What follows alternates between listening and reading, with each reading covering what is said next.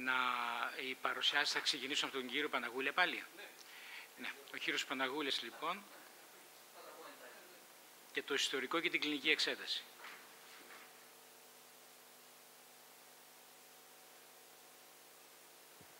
Ναι, καλησπέρα ξανά. Ε, ουσιαστικά το στόχος αυτής της παρουσίασης είναι να κωδικοποιηθούν οι γνώσεις αυτές που είναι 60-70 ετών γνώσεις πλέον της κλινικής εξέτασης η νευροπάθεια, όπως γνωρίζετε, είναι η μη ετερογενής ομάδα που ουσιαστικά μόνο μέσω των συμπτωμάτων και των αντικειμενικών ευρημάτων στα άτομα που έχουν διαβήτη λόγω της διαταραχής της λειτουργίας και εφόσον αποκλειστούν τα υπόλοιπα αίτια νευροπάθειας, λέμε ότι υπάρχει διαβητική νευροπάθεια, μπορεί να είναι συμμετρική ή μη και συνυπάρχει πολλές φορές υδροκινητική της λειτουργία, δηλαδή διαταραχή της έκρησης του υδρότα. Μόνο λοιπόν με το ιστορικό και την κλινική εξέταση από τα αποτελέσματά τους μπορούμε να ενώσουμε το κομμάτια του puzzle. Για να τα πούμε τώρα με τη σειρά, περνώντας από τη φυσιολογία στην παθολογία, ουσιαστικά ελέγχοντας το μυϊκό έλεγχο και τα αντανακλαστικά του ασθενούς, ελέγχουμε τις κινητικές εμίελες τύπου ΑΑ νευρικές ίνε, μέσω της παλαισθησίας, της ιδιοδεκτικότητας, της κιναισθησία, της αφής και της πίεσης, ελέγχουμε τις εμίελες ΑΒ και Β νευρικές ίνε που είναι αισθητικές ίνε.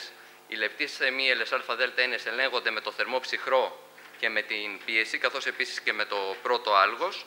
Το δεύτερο άλγος ελέγχει, ε, που ελέγχεται με τις αμύελες νευρικές σύνες, ελέγχει την ε, θερμοευαισθησία, την πίεση και όπως είπα και το δεύτερο άλγος και η εφίδρωση ελέγχεται ουσιαστικά από τις λεπτές αμύελες τύπου C και αμύελες τύπου C νευρικές ίνες. Όπως είπαμε και προηγουμένως, το πρώτο που ρωτάμε είναι ο λόγος για τον οποίο προσήλθε ο ασθενής. Ε, Αφενός με πρέπει να δούμε τι τύπου διαβήτη έχει. Πολλές φορές ο διαβήτης τύπου, όχι πολλές φορές, ο διαβήτης τύπου 1 καταρχήν ε, οι οδηγίες λένε να εξετάζονται τα άτομα πλέον από την αρχή της πρωτοδιάγνωσης του διαβήτη, σύμφωνα με τις καινούργιες οδηγίες. Παλιά λέγανε στην πενταετία, τώρα λένε αμέσως να τους εξετάζουμε. Στα άτομα τύπου 2 είναι λίγο πιο ε, σοβαρός ο λόγος που πρέπει να κάνουμε την εξέταση της νευροπάθειας. Αυτό είναι επειδή από προδιαβητική κατάσταση, σε ένα ποσοστό 10 με 15% των ασθενών υπάρχει νευροπάθεια στα άτομα που έχουν περιφερική αγκιακή νόσο, που μπορεί να περιγράφεται ως διαταραχή της βάδισης ή ότι κρεμάνε τα πόδια σε κρίσιμη ισχυμία, το ποσοστό αυτό ανέρχεται σε ένα 20%. Το 25% των ατόμων ε, που έχουν διαβήτη θα αναπτύξουν έλκος και γι' αυτό θα πρέπει, αν ένα άτομο έχει διαβήτη, αν έχει έλκος, τότε λογικά θα έχει και νευροπάθεια ή μπορεί να έρθει για κάποιο άλλο λόγο υγείας. Από τα στοιχεία της ταυτότητας του ασθενούς, αυτό που κοιτάμε είναι το φύλλο. Είναι πιο συχνό η εκδήλωση νευροπάθειας στους άντρες παρά στις ε, γυναίκες. Η ηλικία, γιατί όσο μεγαλώνει η ηλικία του ατόμου, εκφυλίζονται ούτως ή άλλως τα νεύρα και αυξάνει η πιθανότητα της νευροπάθειας.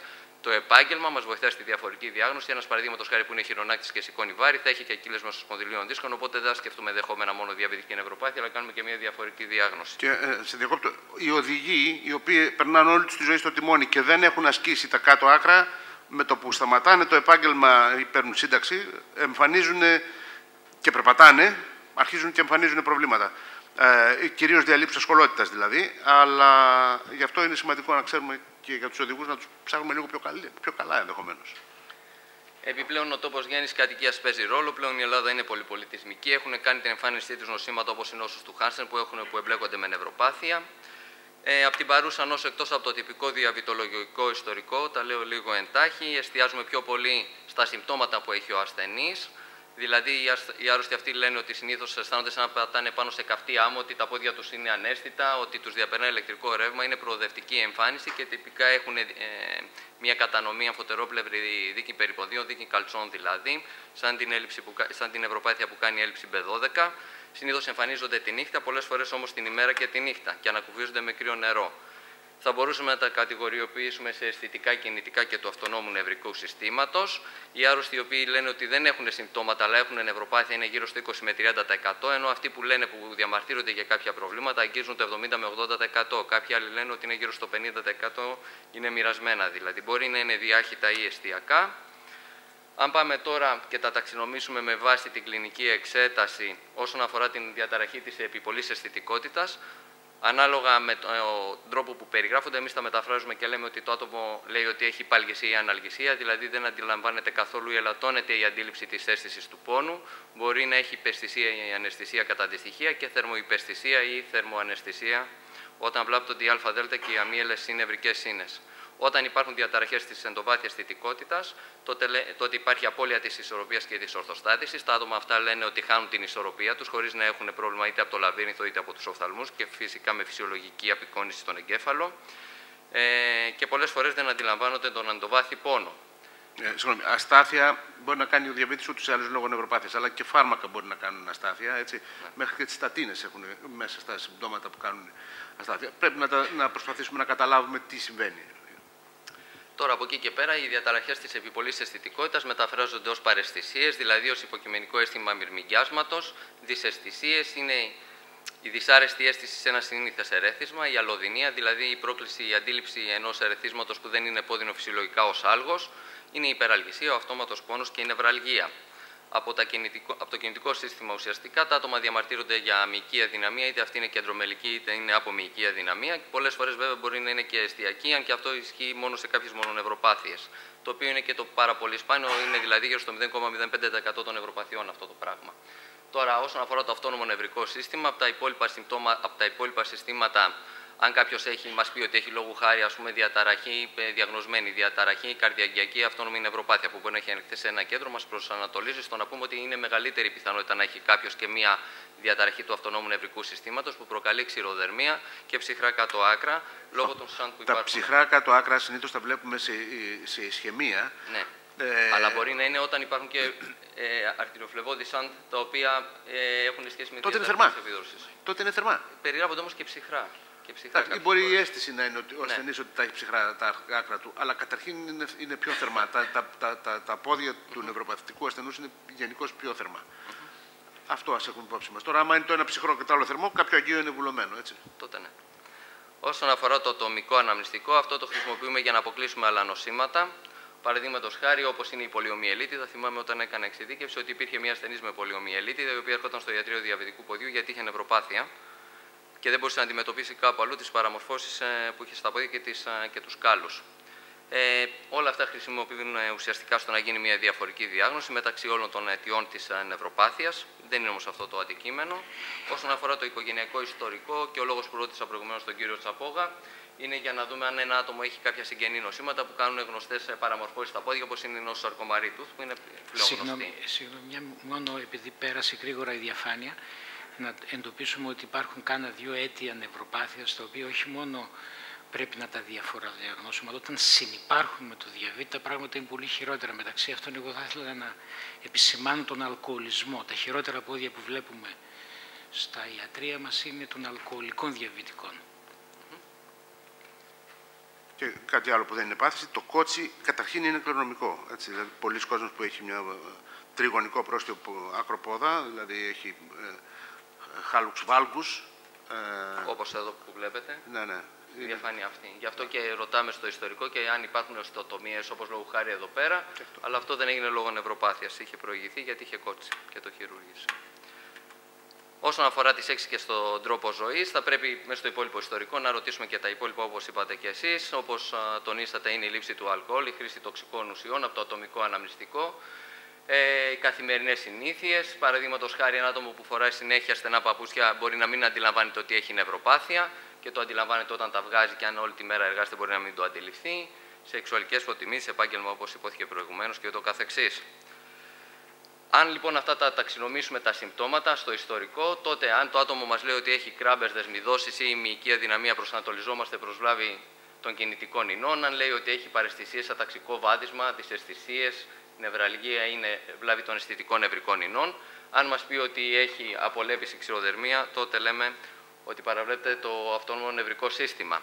Αν αυτά ταξινομηθούν, κάνουν το δείκτη συμπτωμάτων νευροπάθειας που έχει ελεγχθεί σε πολύ καλά με πολυκεντρικές μελέτες. Ουσιαστικά με το δείκτη συμπτωμάτων νευροπάθειας, με το πρώτο ερώτημα, με το σύμπτωμα, βάζουμε τη διάγνωση του ότι ένας άρρωστος έχει νευροπάθεια κάποιου τύπου και με τις υπόλοιπες ερωτήσεις ουσιαστικά προσανατολιζόμαστε στο να αποκλείσουμε άλλα αίτια από το ιστορικό. Δηλαδή, αν η, αν έχει, αν η νευροπάθεια που περιγράφει ουσιαστικά είναι στο μυρό, τότε είναι πολύ πιο απομακρυσμένη πιθανότητα να έχει διαβητική νευροπάθεια. Ομοίω, αν είναι μόνο τη μέρα και δεν είναι η μέρα και νύχτα ή τη νύχτα, τότε μάλλον δεν είναι διαβητική νευροπάθεια. Και ούτω καθεξής. μετά από αυτά περνάμε στην κλινική εξέταση. Η κλινική εξέταση καταρχήν περιλαμβάνει την επισκόπηση, ακρόαση δεν υπάρχει στην νευρολογική εξέταση. Το πρώτο που κοιτάμε είναι το άτομο που έρχεται, ποια επισκοπικά η γενική εικόνα του ποια είναι. Αν ένας έρθει με ένα ουρεμικό προσωπείο, είναι ένας χρόνο νευροπαθής, μπορεί να έχει νευροπάθεια η οποία να μην είναι από διαβήτη, μπορεί να έχει κάποια άλλο, μπορεί να είναι λόγω της της νεφροπάθειας. Οι αναγκαστικές θέσεις όπως είναι η ακροδυνία, δηλαδή στην περιφερική αγκιακή νόσο μας κατευθύνει στο να σκεφτούμε ότι μάλλον θα έχει και κάποιο βαθμό νευροπάθεια ο άρρωστος αυτός. Συγγνώμη Ναι. Όσον αφορά τώρα κατά την προσέλευση του ασθενούς, αυτό που κοιτάμε είναι είναι ο τρόπος που περπατάει. Εδώ είναι ένας άρρωστος που έχει διαβήτη και έχει ένα τρομόδε βάθημα, κάνει μικρά βήματα. Πολύ ωραία. Σιγά σιγά. Πηγαίνετε. Ο άλλος έχει Μια χαρά περπατάει. Βλέπετε το αριστερό πόδι ότι κάνει ένα μικρό κύκλο. Κατά την ειδική επισκόπηση, όπως είπαμε και πριν, μπορεί να υπάρχει απώλεια της ελαστικότητας, ε, το δέρμα μπορεί να είναι λίγο και στυπνό, να υπάρχει ξηρότητα και απολέπιση, καθώς επίσης και ατροφία. Μπορεί να υπάρχουν τροφικές διαταραχές, να έχει μια συγκεκριμένη ουρεμική χρειά. Στο γεννητικό σύστημα βλέπετε στην πρώτη εικόνα την έκπτωση της μυϊκής μάζας των μεσοστέων μειών και στη δεύτερη την πτώση της ποδικής καμάρας. Εδώ είναι ένας όρθος που έχει κάνει neuropad test και εδώ πέρα βλέπετε την ξηροδερμία και την απολέπιση. Το neuropad test δεν το είπαμε στην ε, ναι, εξέταση. Θα το πω τώρα. Okay. Ε, ουσιαστικά ε, βλέπετε ότι πολλές φορές οι αυτοί διαμαρτύρονται ότι είναι τα πόδια τους σαν να έχουν επιτηρίδα, λένε οι ασθενείς. Επίκρουση και ψηλάφιση ουσιαστικά είναι η, η υπόλοιπη νευρολογική εξέταση. Ελέγχεται ο επιπολής πόνος, η ελγεστησία, το θερμό ψυχρό και η λεπτή αυτή και η διακριτή γραφή. Η γραφή εννοούμε όταν γράφουμε πάνω στο πόδι του ασθενούς για να δούμε αν αντιλαμβάνεται τις ε, λεπτές διαφορές.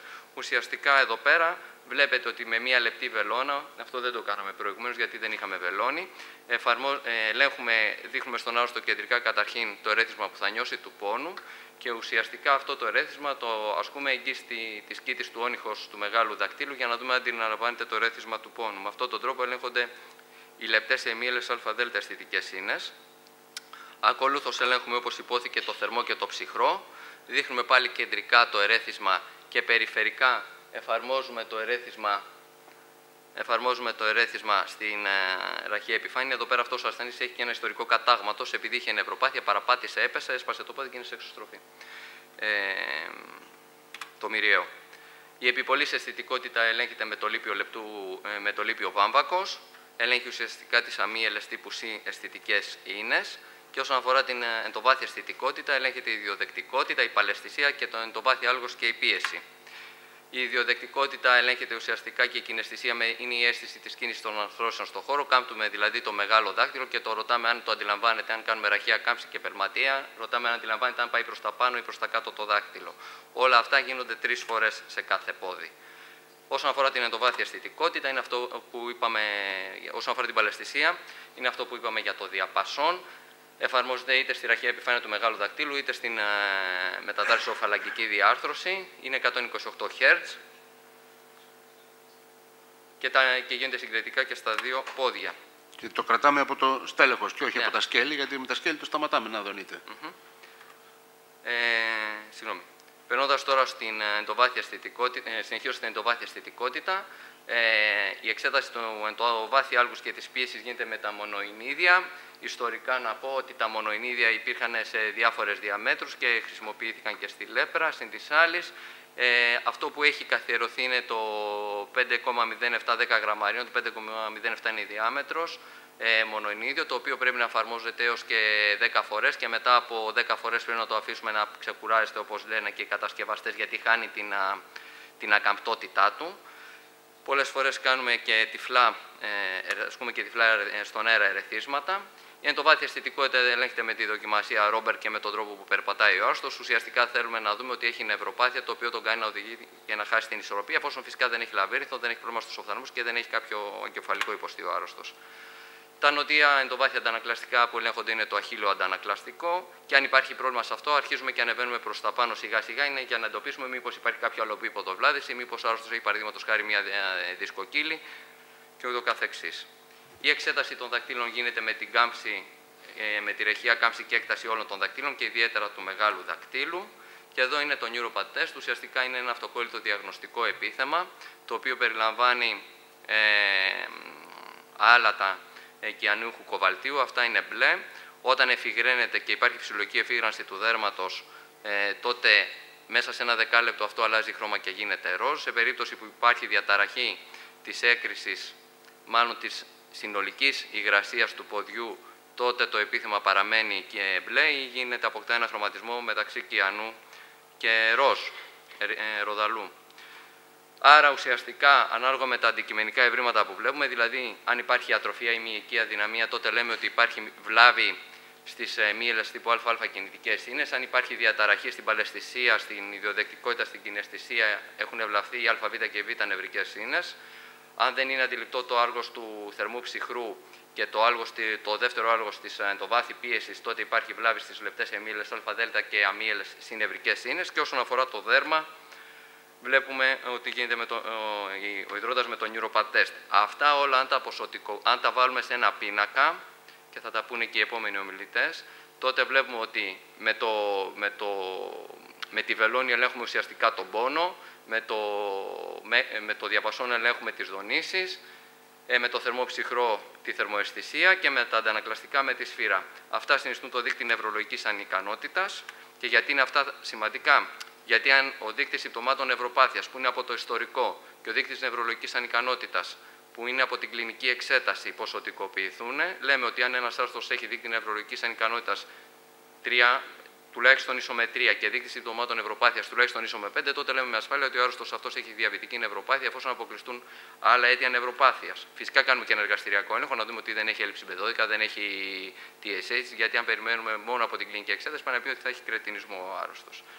Ε, και αυτό είναι σημαντικό γιατί ξέρουμε ότι αν ένας άρρωστο έχει νευροπάθεια, τότε θα πρέπει να τον ελέγχουμε τουλάχιστον κάθε 6 μήνες, ενώ αν δεν έχει νευροπάθεια, θα μπορούμε να τον ελέγχουμε μία φορά το χρόνο αποσυμφορώντας το ιατρείο. Αυτά τα ένωσε η Αμερικανική Διαβητολογική Εταιρεία και ουσιαστικά χρησιμοποιώντας μόνο το tip therm των διαπασών και το μονοενίδιο 10 γραμμαρίων και με το ιστορικό θέτει τη διάγνωση νευροπάθειας. Όπως υπόθηκε και πριν, το πόδι σε κίνδυνο εξέλκωσης είναι λίγο διαφορετικό από την νευροπάθεια. Ένας άρθρο μπορεί να έχει νευροπάθεια, αλλά να μην έχει ένα πόδι που να κινδυνεύει να πάθει έλκος. Αυτό πώς γίνεται η διάγνωση, γίνεται αν το μονοενίδιο είναι θετικό και υπάρχει το ένα, τουλάχιστον ένα παθολογικό από, τα υπόλοιπα, από τους υπόλοιπους τρόπους διάγνωσης της νευροπάθειας, ενώ αν είναι και τα δύο φυσιολογικά και δεν υπάρχει κανένα αρνητικό, τότε λέμε ότι δεν έχει πόδι σε κίνδυνο. Δείξαμε και προηγουμένως πως είναι ένα πόδι σε κίνδυνο. Συμπερασματικά, μόνο από το δείκτη των συμπτωμάτων νευροπάθειας, από το δείκτη της νευρολογικής ανικανότητας και με ένα χρόνο 4 λεπτών, χωρίς το χρόνο που υπολογίζουμε για να βγάλει τα παπούτσια του ασθενή, γιατί μπορεί ο ασθενής να είναι υπέργυρος, να έχει κινητικά προβλήματα, να καθυστερήσει. Ε, Τέλος πάντων, μέσα σε ένα χρόνο 4 λεπτών μπορεί να μπει η διάγνωση της νευροπάθειας, αν έχουμε κάνει ειδικά και εξετάσεις. Εδώ ολοκλήρωσα, κύριε Πρόεδρε. Ε, ωραία, ευχαριστούμε πολύ.